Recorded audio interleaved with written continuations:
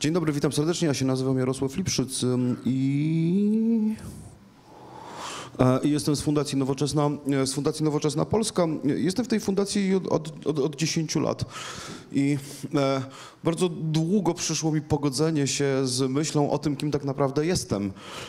A tak naprawdę czytam dzieciom książki. To jest jakby mój, mój, mój, mój zawód. E, Cała reszta okazała się być tak naprawdę, tak naprawdę e, e, e, przygodna, a, e, a, a, ale to, że ja stałem się cyfrowym bibliotekarzem poniekąd też zdarzyło się przez przypadek e, i niechcący. I, tak, I dzisiaj chciałbym Państwu opowiedzieć o tym, e, o tym, o tym przypadku. To był dobrze przygotowany przypadek, ale jednak, ale jednak przypadek. Czy Państwo w ogóle znają wolne lektury? Kto, kto znamy. Więc ja odkryłem, oglądając tą prezentację, że te, te screenshoty, które porobiłem, są beznadziejne. I że ja nienawidzę prezentacji. Prezentacje po prostu są takie, że, że jak się już zrobi te slajdy, to potem trzeba je wygłosić w tej samej kolejności, w jakiej się je ułożyło. Nie można podążać za pytaniami na przykład. Czy, e, e, nienawidzę prezentacji. W związku z czym polecam Państwu, żeby jak będę mówił, to żeby Państwo sobie otworzyli swoje narzędzia elektroniczne, w co niektórzy są już zanurzeni, więc będzie prosto, i otworzyli sobie wolne lektury i te rzeczy, które będę pokazywał ostateczne na slajdach, żeby Państwo sobie klikali. Działa także na komórkach i mamy także aplikację na Androida. Na iPhone'a jeszcze 2-3 miesiące, kiedy, kiedy kiedy, kiedy, kiedy aplikacja będzie, będzie udostępniona. Dobrze. Więc e, wolne lektury w, w, w kilku liczbach. e, em, e, 5289 utworów, e, 578 audiobooków, 400 reprodukcji e, dzieł sztuki, ukłony dla Muzeum Narodowego, dziękujemy. E, I e, 27 kolekcji tematycznych, 7 milionów wizyt, to jest prawie 20 milionów odsłon, e, 4,2 miliona unikalnych użytkowników. I to są poważne liczby. To znaczy, e, to znaczy, to znaczy e, kiedy porównamy to, nie wiem, ze statystykami Polony, która ma oczywiście zupełnie innego typu działalność, tak, ale widzimy, że to są liczby o rząd wielkości, e, o rząd wielkości większe. I to oczywiście wynika, to oczywiście wynika z tego, że my na samym początku podjęli- podjęliśmy dwie bardzo istotne decyzje dotyczące tego, w jaki sposób tworzymy nasze kolekcje i w jaki sposób opracowujemy te e, zasoby, e, zasoby, e, zasoby cyfrowe. I o tych dwóch podstawowych, kluczowych decyzjach, które podjęliśmy na samym początku, w 2006 roku, zaraz Państwu z przyjemnością, z przyjemnością, z przyjemnością opowiem.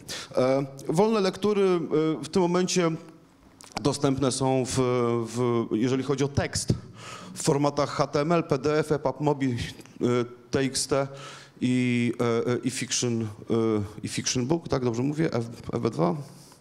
To jest, ten, to jest rosyjski, rosyjski format. W Polsce on w ogóle nie jest wykorzystywany, ale jak się pracuje także na przykład dla Polonii na wschodzie, to się okazuje, że tego typu formaty po prostu, po prostu są, są, są potrzebne. I to nie jest, i wolne lektury to nie jest tylko zbiór tekstów zdigitalizowanych, e, zocerowanych i wrzuconych, wrzuconych w internet, tylko to są, to są teksty, którym my poświęcamy bardzo dużo, bardzo dużo e, uwagi. M, Ten nakład pracy na przygotowanie tekstu do publikacji jest, e, jest gigantyczny. To jest Powiedziałbym, że to jest na granicy tego, co, czym jest cyfryzacja zasobów, a tym, czym jest przygotowanie nowej publikacji. E, jedną z rzeczy, które robimy, to, i, któ- którą robimy także dlatego, że zbadaliśmy potrzeby naszych użytkowników, a naszym użytkownikiem jest przede wszystkim e, uczeń. E, To są, to, są, to są motywy literackie, dlatego że w Polsce polskiego uczy się nie, już od dłuższego czasu, nie, nie, nie w sposób historyczno-literacki, tylko w oparciu o motywy i tropy, a w związku z tym potrzebne są narzędzia, które pozwalają w tekstach literackich szukać tych motywów i tropów i my te narzędzia po prostu, e, po prostu, e, po prostu przygoto, e, przygotowaliśmy. E, I w związku z tym, na przykład, jeżeli ktokolwiek szuka, nie wiem, na przy, przykładowo e, motywu miłość, to może znaleźć na wolnych lekturach konkretne cytaty z konkretnych utworów i może to nałożyć sobie na e, na inne e, kryteria, na przykład tylko w romantyzmie, tak? albo tylko w modernizmie, albo e, tylko w poezji. E, I sobie, i, sobie te, e, I sobie te wyniki zawężać, ale trafia bezpośrednio do konkretnego miejsca w tekście. Czyli Państwo też rozumieją, jeżeli te motywy nanoszone są ręcznie, a motywów mamy kilkaset różnych w tym momencie, tak jaka to jest praca redakcyjna, ręcznie te motywy, te motywy e, zaznaczyć e, i otagować. Mm. E, Opracowanie tekstu bardzo, bardzo pracochłonne, to jest uwspółcześnienie pisowni, poprawianie błędów. e, Czasami to poprawianie błędów to jest praca taka, e, e, taka zupełnie ty- tytaniczna, bo cy- cyfryzujemy, cyfryzujemy, cyfryzujemy jakiś utwór i odkrywamy, że ostatnie trzy rozdziały tłumaczka z końca XIX wieku to wtedy była powszechną praktyką.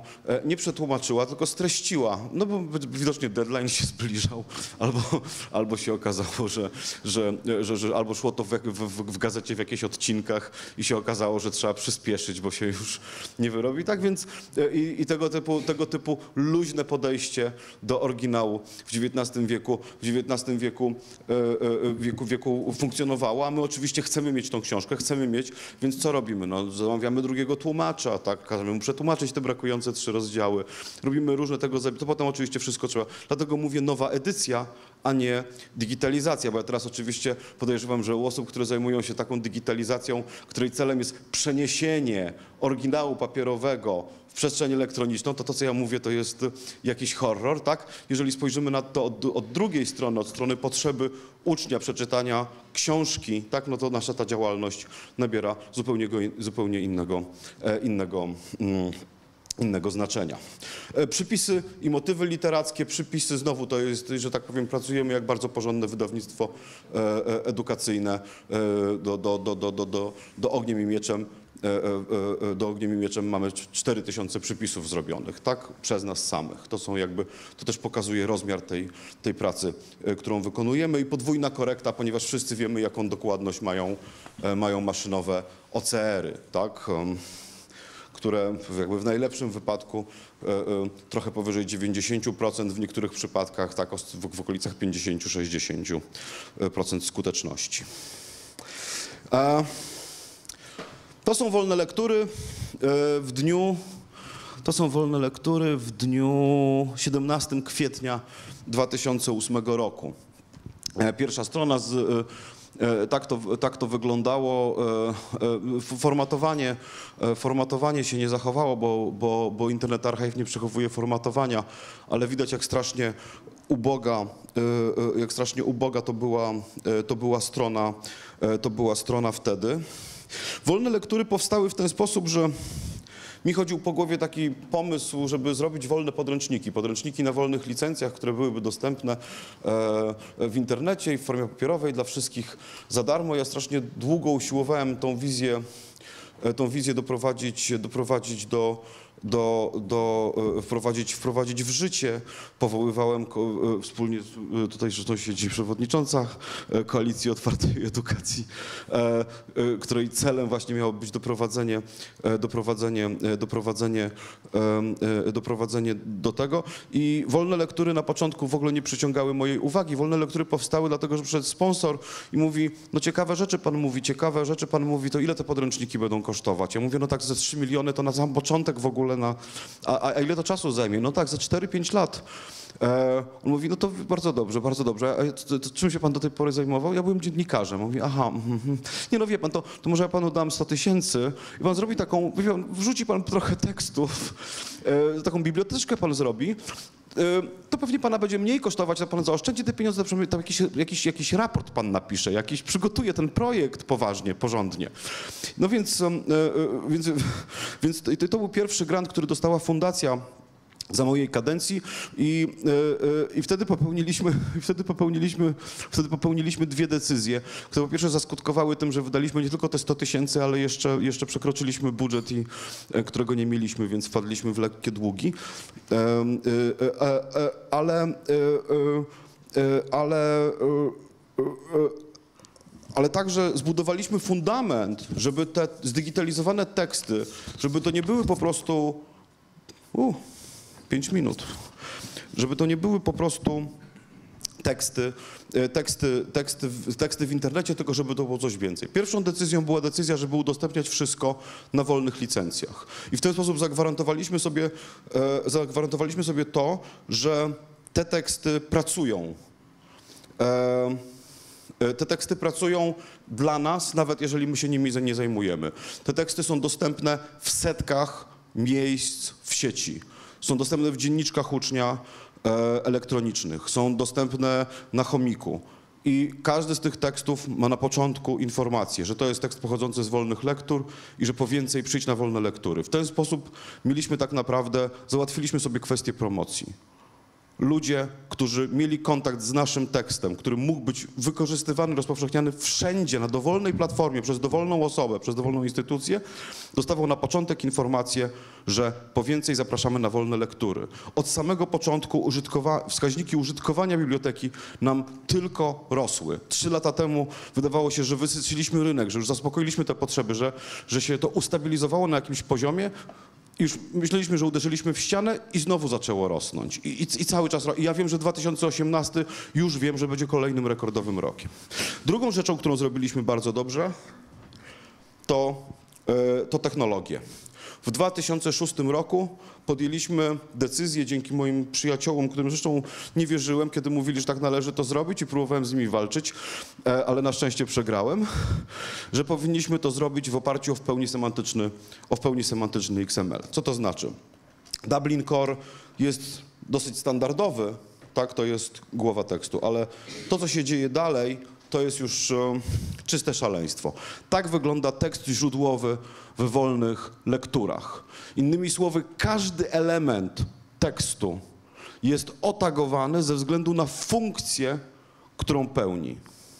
Każdy. Tytuł dzieła, akapit, nagłówek, tak. I to, to jest oczywiście najtrudniejsze to jest w dramacie, bo tam jest tych, tych rzeczy. Innymi słowy, ten fo, format źródłowy jest stuprocentowo semantyczny. Myśmy odrzucili wszystkie istniejące formaty ze względu właśnie na to, że żaden z nich nie był w 100% semantyczny.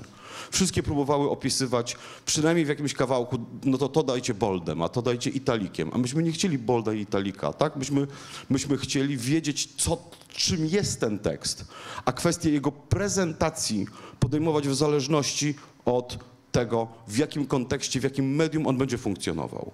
I to była absolutnie najważniejsza decyzja, jaką podjęliśmy, zakładając wolne lektury. Dlatego, że i kiedy my się chwalimy tym, że mamy technologię future proof, to właśnie o to chodzi. Nie ma takiej technologii, która nadejdzie w przyszłości, która zaskoczy wolne lektury. Ja już jestem przygotowany na to, żeby tą technologię wdrożyć. Kiedy w 2007 roku wystartowała pierwsza wersja biblioteki, myśmy nie wiedzieli, że przyjdą urządzenia e-papierowe. Myśmy nie wiedzieli, że przyjdą formaty EPUB i MOBI i że będą istotne, bo tych formatów wtedy nie było.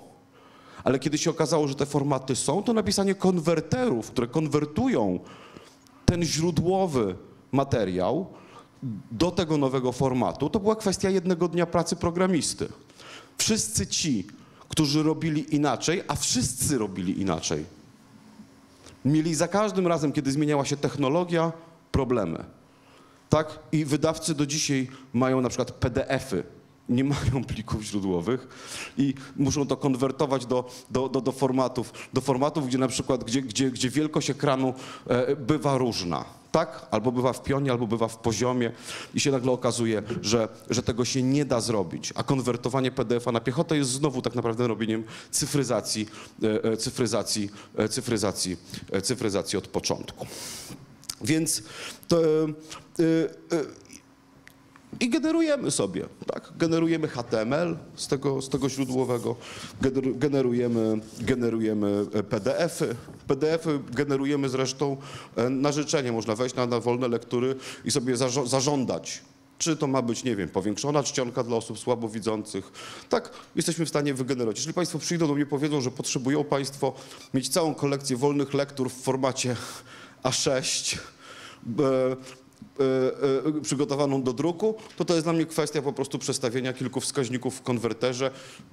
Potem parę godzin komputer popracuje ja wypluję Państwu całą kolekcję tak jak Państwo sobie tego życzą. Ale, to, ale jest jeszcze jedna rzecz, bo wolna licencja i otwartość technologiczna, bo oczywiście ten WL XML, jak my go nazywamy, tak, wolne lektury XML e, jest otwartym standardem w tym sensie, że jest dostępny dla każdego i jest opublikowana specyfikacja, umożliwia także innowacje. I to jakby chciałem pokazać dwie rzeczy, które są zabawne, ale jak widzę, które są zabawne, ale które, ale które pokazują, jakie możliwości drzemią w tej technologii. To jest teatrzyk, teatr.wolnelektury.pl, jak Państwo chcą sobie to na ekranach e, zobaczyć. E, to jest teatrzyk. To jest teatrzyk, e, to jest teatrzyk, który działa w ten sposób, że, że program, przy oczywiście to jest proof of concept, tak? W sensie Grzegorz i Samson są kropkami, chociaż oczywiście mogłyby być równie dobrze animowanymi postaciami. To jest kwestia wyłącznie e, włożonej pracy. I oczywiście pojawiają się dymki, a, a, mogłyby, a generator głosu mógłby to czytać, tak? On, to jest automat, który czyta ten, ten tekst źródłowy, w, e, w XML-u i przetwarza go w czasie rzeczywistym na, na film animowany. I to jest do zrobienia, to jest technicznie absolutnie wykonalne. E, e, e, e kwestia, i te, te, żeby to było atrakcyjne, to jest kwestia wyłącznie włożonej, e, włożonej, włożonej w to w to ciężkiej pracy. Drugą rzeczą też taką zabawną, to e, skoro mamy tą bazę danych, to e, dlaczego nie pobawić się w elektrybautów i, i żeśmy, żeśmy ogłosili konkurs na, na, na, na, na, elektry, na elektrybauta, który wykorzystywałby teksty z wolnych lektur, korzystając i z licencji, i z infrastruktury.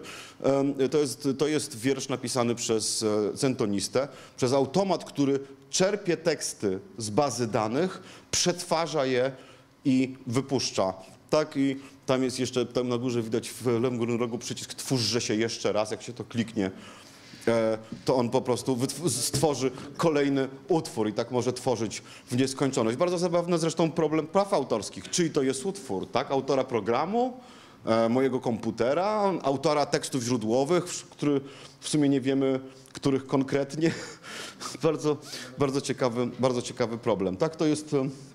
To jest oryginalny elektrybaut napisany przez Radka Czajkę, który nazywa się Leśmianator, który, który zajmuje się, który, który, e, który z kolei, który, to jest elektrybaut, który specjalizuje się w, e, w, w leśmianowskich neologizmach z różnymi skutkami, czasami lepszymi albo gorszymi. Innymi słowy, ale, ale pokazuje to, nie żebyśmy się pośmiali na temat tego, że takie rzeczy są możliwe, bo to, że są możliwe wiemy od dawna, tylko żeby pokazać, jak bardzo otwarcie prawne, otwarcie infrastrukturalne i dobre zaprojektowanie infrastruktury na samym początku jest istotne. Dlatego, że jeżeli pewnych rzeczy nie zrobi się dobrze na samym początku, to potem trzeba zmieniać do tyłu, a nie do przodu, a do tyłu się zmienia znacznie trudniej niż do przodu. Nie, nie, nie wydaje mi się to jakoś bardzo, ale zrozumieli Państwo, co mi chodzą? Tak? Dobrze.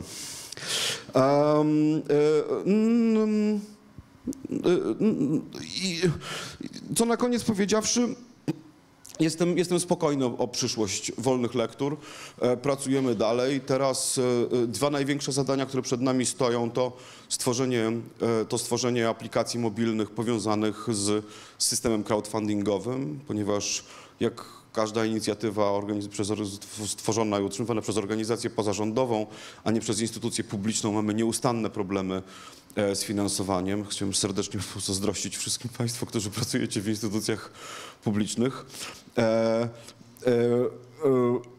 druga rzecz to, przy, to zaczęliśmy w zeszłym roku zupełnie nową dla nas rzecz, E, o której też od bardzo, od wielu, wielu, wielu lat myśleliśmy, zaczęliśmy wykup praw autorskich. Nie, nie, będzie, nie udostępniamy już tylko książek, które są w domenie publicznej, ale zamawiamy nowe tłumaczenia tekstów niedostępnych w domenie publicznej w języku polskim. Ten program translatorski chcemy rozwinąć. Zamawiamy nowe utwory od wybitnych polskich twórców i, e, i wykupujemy prawa do utworów, które są już nieobecne na rynku, których wartość komercyjna jest niska, a wartość dla kultury jest bardzo wysoka. W zeszłym roku udostępniliśmy 20 tomików wierszy absolutnie najwybitniejszych polskich, e, polskich, e, e, polskich poetów. Są dostępne na wolnej licencji, na wolnych lekturach. I to są jakby te kierunki, w których zamierzamy pracować dalej. Dziękuję serdecznie.